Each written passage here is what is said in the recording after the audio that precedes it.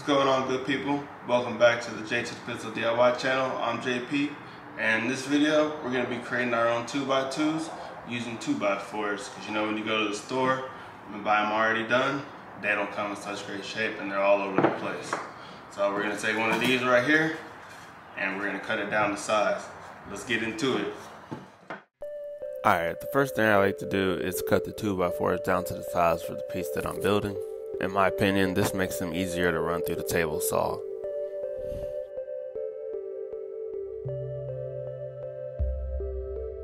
After all the pieces is cut, I'm gonna set my fence guide on my table saw to a little under three and a half inches. I'm gonna run each piece through there just one time. The reason I set the fence guide to a little under three and a half inches is just so we can take off that rounded edge that comes on the 2x4.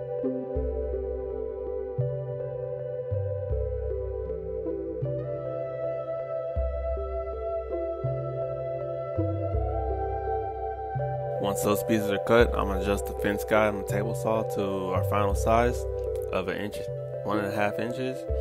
I just make sure to run the side that you just cut against the fence, so you can get that clean cut.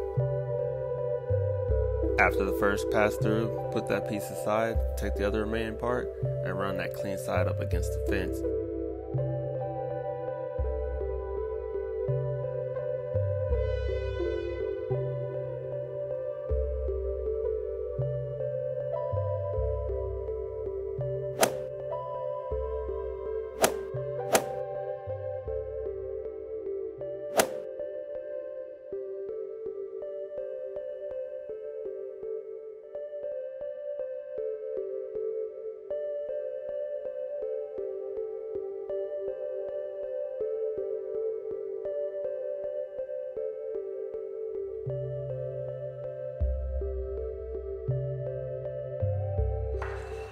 We went from this 2x4, cut it down into these 2x2s.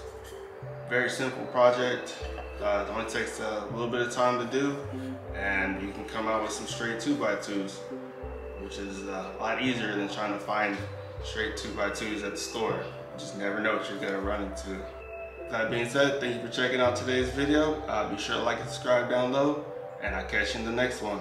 Peace out.